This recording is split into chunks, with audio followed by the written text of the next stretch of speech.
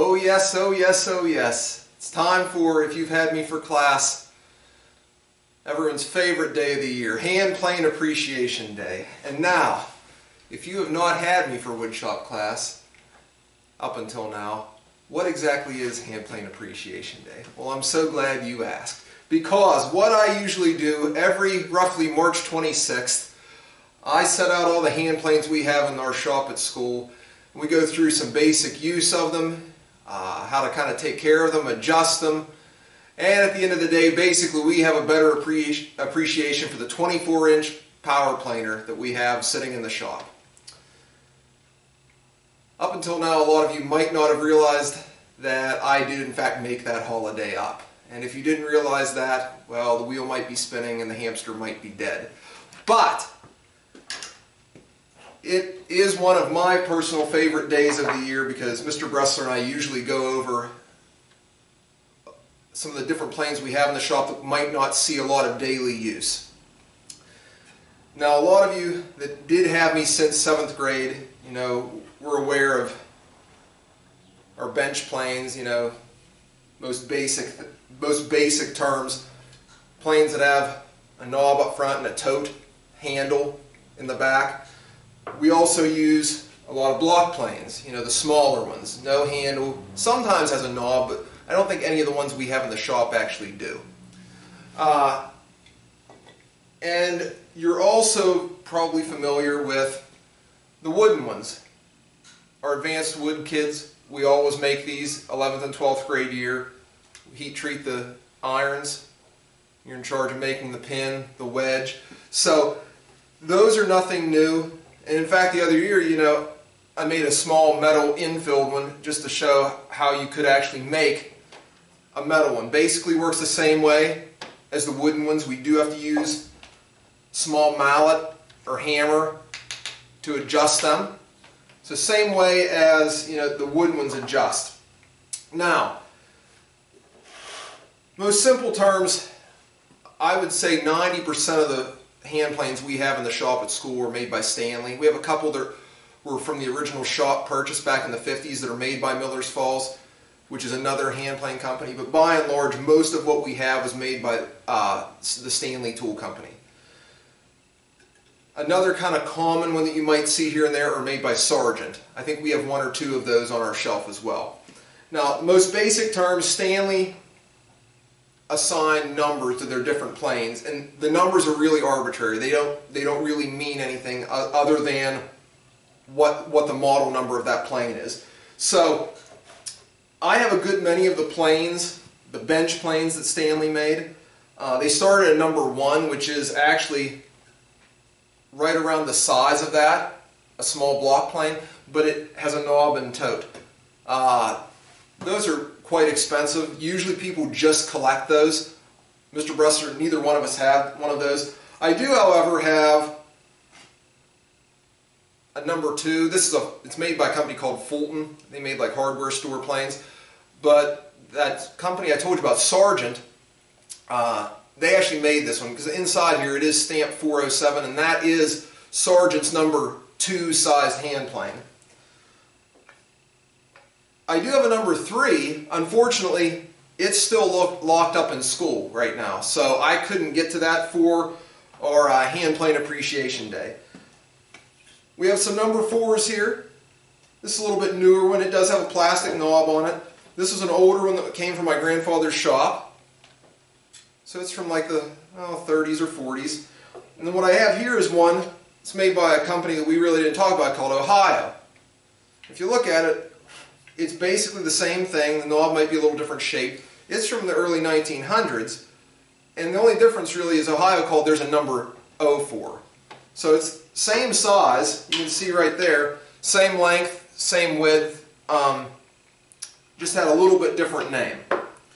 And up until now, you know, these are all what we call smoothing planes.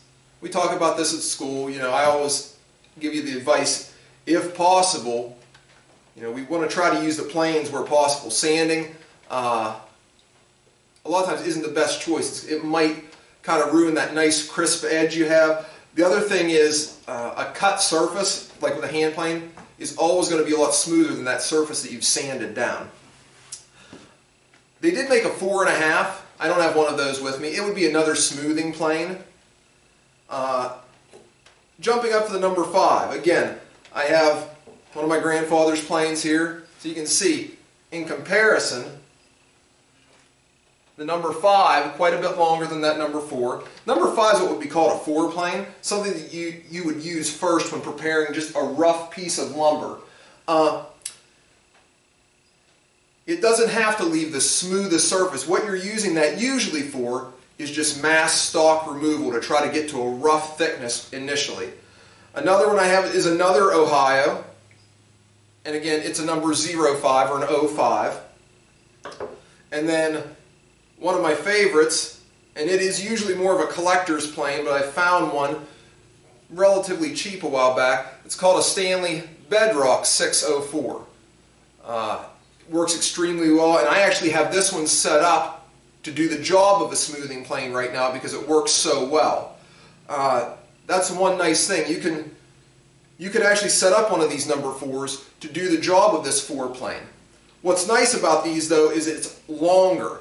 So any divots like we talk about in class, any dips, any warp, it's going to ride across the top of those a little bit better than a shorter plane which can go down in uh, any, uneven, any unevenness on the surface. There is a five and a quarter, which kind of breaks with the trend of getting slightly bigger as we go, and it is actually narrower than these number fives. I don't have one of those, and I actually, the only five and a half I have is in pieces over to the right of my bench. I actually don't have a couple parts for it, so it's actually in pieces right now, which takes us up to the number six. Okay? And actually, I misspoke. The number five is what we'd call a jack plane. I'm sorry and it is for the stock removal. Number six is the fore plane, sometimes referred to as a short joiner. Okay, um, you can kind of do just a little bit of everything with this. You could set it up to be a smoothing plane. It is a bit heavier though. Uh, another thing you could use it for is you could use it for the job of a jack plane. You could use it to remove stock. Uh, another thing that it, you know, it is useful for we talk in shop, you know, the joiner, we do face joint boards before we put them into the planer. But after we're done planing, a lot of times we stand them up and run that edge through, so edge joining. That's a place where that number six, it's kind of a short joiner. Longer sole is going to allow you to go across any unevenness a lot better. And again, I also have an Ohio here. Really nice plane, really nice to use. It also, like the other two, it's an 06. Now, moving up, we have a number 7 here. So, we just had a 6. 7 is obviously quite a bit larger. And this would be the first of what they, we call the joiner planes. The usual use for these, again, is edge joining. Uh, I've seen craftsmen use these as smoothing planes before. They are fairly heavy. This is probably about, I don't know, probably close to 8 pounds, maybe more. Um, this one's very sharp, works very well, but it is kind of heavy. It wears you out if you use this for long periods of time. So, for that reason, you know, a lot of people just use this for edge joining. And last but not least, the largest of the normal bench planes that Stanley or a lot of these companies makes, uh, it was the number 8. Now this one's made by a company called Union, which I believe Stanley owned them. And it's a little bit different. It's called an X8, and that just refers to how we adjust the blade back here in front of that handle. But it works the same way. You know, it's obviously a lot wider than the 7 here and it is also quite a bit longer. Okay. Uh, again, super heavy. It's, it's 10 pounds or better. And like I said with the last pretty much three planes, usually edge joining. I really have not seen a ton of people use this for anything but going across the edge of a board. And one thing about these, a lot of times they're priced so a little bit higher. A lot of people don't really try to pick one of those up unless they find a deal. Um, the number 7 works just as well. Of the planes here, you know, the most common you're going to see is these number 4s. Number 5 is fairly common as well. That's not to say that the rest of them aren't common planes, but what you're going to see a lot of are these 4s and 5s. And to be honest with you, I would say for most of you know the bench work, you can compare to the work if you've had me for class that you've done in there. A good bit of what we do, we do use a combination of power and hand tools. These number fours and number fives are going to do probably most of what you want to do in the shop as far as what I've gone over in class. And what's nice about these is these are the relatively cheaper hand planes to pick up. Um, I, if it were me, I would kind of keep an eye out for like Stanley, Sargent. Miller's Falls makes some really nice planes. And as crazy as it sounds, you know if you've had me, I usually don't recommend you buy you know, the brand new Stanleys. You can look around and find these um, fairly inexpensively. Uh, I think this old, I think I found out this is from around 1900, uh, Ohio. I think I paid like $10 for it. And the blade's super sharp, it works really well. Uh, that little Fulton number two, I think another $10, $12. So they work really well. And you, if you wait, if you look around, you can find them fairly inexpensively. We've tuned a bunch of these in class. I know we've had students bring these in before and we've kind of refurbished them, got them cleaned up, and actually turned them into users.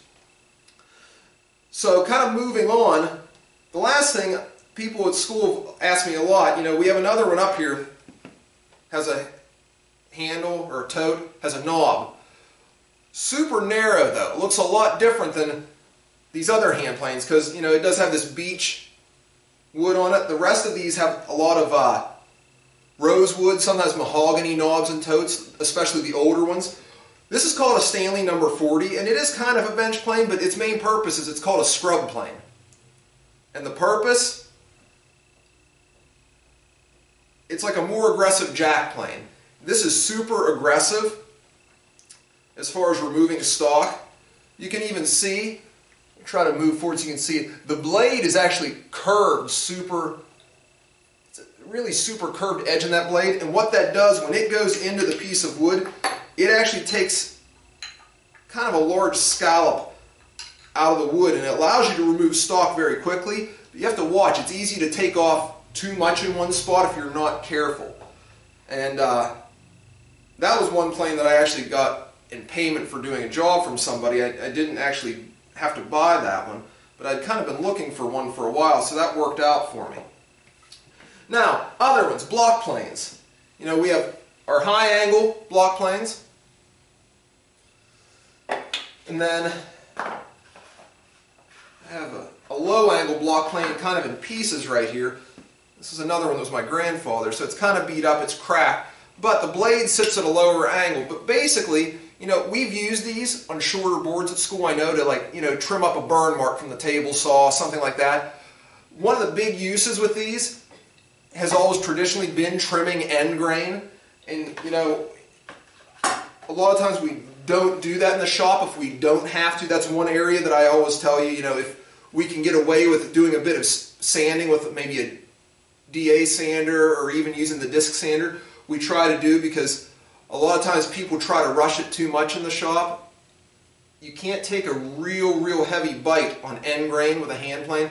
Otherwise, you are going to really chip stuff out. Uh, another thing it helps do is to have a backing board clamped to it. We've talked about that in class. Now, another block plane. This is my actually my daughter's. I made it with the uh, Advanced Wood kids the other year. You know, this has an old, uh, I think it's an old Stanley block plane blade that I actually took on a milling machine and milled it down so it would fit in here. And uh, it actually works really well. She She's only six, but I she's actually had that for a couple of years and she can actually use that. It works really well for someone with smaller hands. Another block plane I told you, that's just that little copper and hickory wood plane. That was more, it does work well, but it was more of an example to show people, you know, exactly what we could do. You know, we, we're pretty blessed with our school having access. We have a wood shop and a metal shop side by side, so there's not too many projects that we can't accomplish, you know, given the time frame we have at school. Now, some of the more specialty planes we have. Now, this would be a rabbeting plane. It's a, what is that? It's a Stanley number 181. Again, the numbers aren't really, they don't mean anything other than to sig signify what, you know, what model you have. So, we know a rabbet's basically just a step in the edge of a piece of wood. Uh, and what that does is, that's going to allow us to clean that blade up. I'll bring it up to the camera because this is a little bit different than what we've usually used in most of my classes. You can see how that is set up right there. And basically that blade goes the whole way through from side to side. The other ones, those bench planes, there's a wall on either side, so you can't actually plane straight to the edge of that plane. This one you can. Uh, and what that does is that allows you to clean up the bottom of a rabbet on the edge of a board, something like that. Now another one, this is a small one, this is called a plow plane. That's made by a company over in England called Record. It's called a Record number uh, 043. You can see that it's, you know, fits in the palm of my hand. It's about the size of a block plane. This is super nice the blade is very small. It's only about a little bit over a quarter inch wide, the one I have in there right now. It, it's great for plowing grooves. Like if you're going to put a bottom in a drawer. Uh, I think last year we actually had someone use it in one of my classes to uh, put a panel in a door. It was just kind of hard to get into a spot, so he used that to actually plow grooves to put the panel in a door. On the same kind of token as a plow plane, here's one Stanley called a universal plane, a number 45, or I guess a combination plane more. Um, now, I only have a couple of the cutters for this, but originally this would have come with, I think it's 16, 18 cutters that were supposed to be able to do just about any job you can think of. Up until then, you know, they used a lot of uh, wooden molding planes to get you know a decorative edge on something. So you would have gotten some blades to accomplish that. With this plane, you'd have gotten some plow plane blades. Uh, you could have cut tongue and groove with that. So it was supposed to replace all these wooden planes that carpenters were using up until then. Um, and it doesn't do a bad job, but for certain for certain things, you know, the wooden planes I feel actually do work better. Now, one that I know we've used, if you've had me for wood one, it's kind of a plane, it's called a spoke shave. You know what I, I always tell you, basically, you know, we know a draw knife, that two-handle knife that we have in the shop, you know, a lot of times we use to peel bark off of stuff we're about to turn. You know, I've always said that that spoke shave is kind of like, for me, a draw knife for dummies. Uh, I use the spoke shave a lot though because, like we talk about in class, it's always going to hold that blade at a dedicated angle. It's not going to allow any more out. Whereas with that draw knife, if we adjust where we, the angle that we attack the wood at, it's quite easy to make a mistake. Now, Another one that a lot of people always say is a spoke shave, and I'll bring both of these over. You know, that's my spoke shave. Kind of small, fits in the palm of my hand. One that a lot of people say is a spoke shave, and it looks a little like it, maybe like a large one, except for the sole. What this is, this is a panel scraper. And basically, the blade goes at the the opposite angle that most of these planes go at because you're actually pushing this across the wood to scrape just a super small amount of wood off at a time. And where that's nice for is, you know, large panels. We've used it for when we glue up uh, tables that have maybe a chess or checkerboard in it in the shop. Smoothing that down without having to actually use the uh, power sander. Another place that's really useful is figured wood. Like we, sometimes we have that curly maple in the shop or some cherry that has a lot of reverse grain. Those cabinet scrapers make it really nice to kind of clean those up without having any tear out from that piece of wood. Now, the one thing I always usually like to talk about, and we talked a little bit about it already, uh, putting together kind of like a little kit. Because obviously we haven't been able to work together for oh my goodness probably over over a month at this point. And you know it was just announced this past week that school is not in session for the rest of the year. You know i've had a few people ask me before they did want to set up maybe even just a small shop at their house do some hand hand woodworking. That's awesome a couple things, you know, just a small kit to kind of put together. Obviously, you know, a Stanley number four is super easy to find. Okay? I'll bring it up closer to the camera so we can see. It's kind of hard to do by myself here. So, you know, only about nine inches long. They're fairly easy to come by. Uh, you know, I I think most of mine have cost between 15 and 30 dollars. So it's not a super large investment. Um, and definitely for this you don't have to have something that uh, would be considered collector grade. You know there's there's people that collect tools a lot. I, I have a small a small collection of tools I really don't use a lot because they're they are in such really nice shape. Um, and things like that you know you don't have to go out and look for something that's in super great condition. If there's a little bit of surface rust, I think I have one here that hasn't really been cleaned up. Um, yeah. You can see there's some rust all over the sides. I got this one not too long ago, just kind of in rusty shape. However, the other night, you know, I took the blade just on a piece of sandpaper just to kind of flatten it a little bit and to sharpen, and it sharpened right up. It actually works really well. So it didn't take a ton of work to get it to where it could cut. Um, you know, if you want a couple planes, you know, a block plane, I don't use them a ton, but you can usually find a block plane fairly inexpensively. You can see this one, wherever someone had it, got some water spots on it. I think I paid like $5 for that. So in all honesty, you can find some of these if you, if you kind of look around fairly inexpensively. Uh, same with the number fives. I, I really don't think I have a spent a ton of money for these. I lucked into the, the bedrock, which is a little different from the other ones. You can see the sides different. I think I paid like $10 for this, and when I got it home, I cleaned it up and realized it was in uh, excellent condition, but it works really, really well.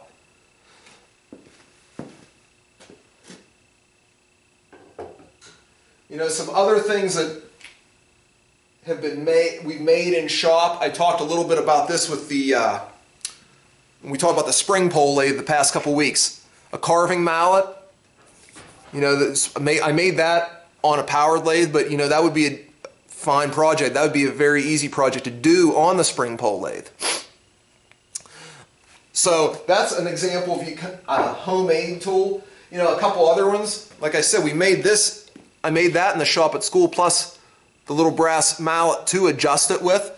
Both work really well. They're both really nice tools to use. Other tools, you know, there's chisels, um, hand saws.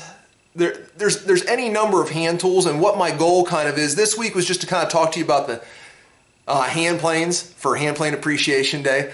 Next week, what my goal is, I have some chisels around here. I'm going to get out some different tools, kind of like a little kit that I would say are some really useful items to have in your shop, whether it's marking tools, measurement tools, um, things like that. That way you might be able to set up a small uh, work area for yourself at your house uh, if you're interested in doing that since it's going to be a while till we can actually have class together again. So, gave you a little taste Hopefully it's not as long as uh, normally Mr. Bressler, my talk is for Hand Plane Appreciation Day, but we did manage to have it this year even though we aren't in class together. So until next time, We'll see you then.